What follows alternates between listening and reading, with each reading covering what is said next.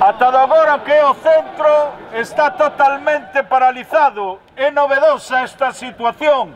Outras veces temos perdido tempo en pechar algún local. Co cal hai que aplaudir os que, polo menos, unha vez na vida deronse conta que non valía para nada que tiveran aberto esta agora. A xente na comarca, a xente en Vigo, concienciando cos traballadores e as traballadoras. Se está concienciando de que temos que ir a esta folga xeral todos unidos, todos juntos.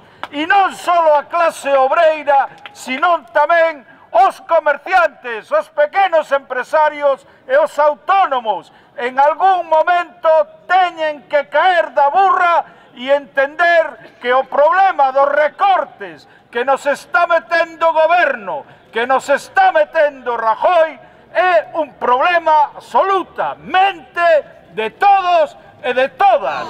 Contra Patro!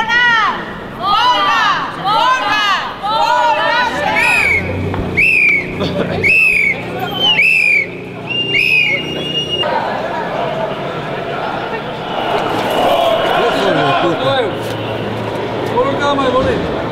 ¡Borga será! Será! ¡Borga será! Será! Ya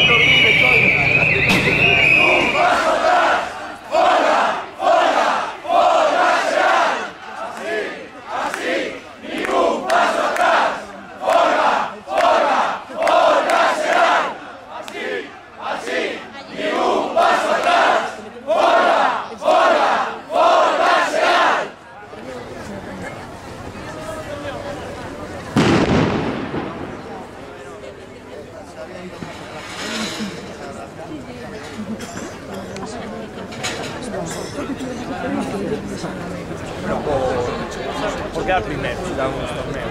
Porque hice las fiestas. Eso mi yo estaba vacío. Entrada por otro lado.